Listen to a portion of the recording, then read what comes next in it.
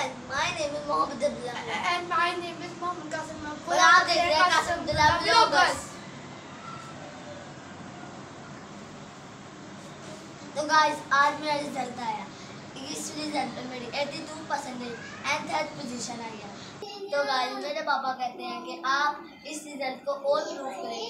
And मामा मेरे से नाराज़ है इसलिए नेक्स्ट टाइम मैं इस रिज़ल्ट को और प्रूव करूँगा। और गाइस अब नमाज़ पढ़ने का टाइम होता है तो मैं आपसे मिलता हूँ नमाज़ पढ़ने के बाद। तो गाइस अब हम नमाज़ पढ़ के आ गए हैं और अब हमें खाने का इंतज़ार क्योंकि ट्यूशन के टाइम में हम ट्यूशन आए।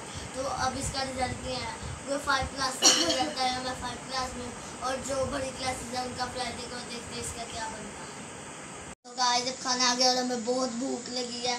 तो खाने में है नान घिए का सालन और पाए का शोरबा। और अब हम खाना खाएँगे और इसके बाद हम अकेडमी जाएँगे।